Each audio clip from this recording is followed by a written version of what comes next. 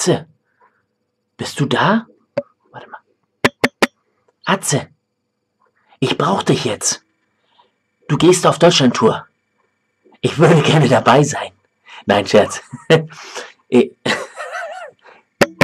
Hört man das? Ich denke, Atze Schröder hat's gehört. Ich mache einfach mal ein bisschen, rühre einfach mal ein bisschen die Werbetrommel für einen der besten Comedien in Deutschland. Jedenfalls, das denkt er selbst von sich. Der legitime Nachfolger von Atze Schröder denkt es selbst, dass er Hubertus Al, Al, Apfelmus, Hubert Apfelmus hat gegen die Bild verloren, aber er geht jetzt trotzdem auf Tour und die Bild berichtet auch noch über ihn. Grandioser Erfolg. Atze Schröder, grandios. Mach bitte weiter so. Ins Detail, ganz penibel.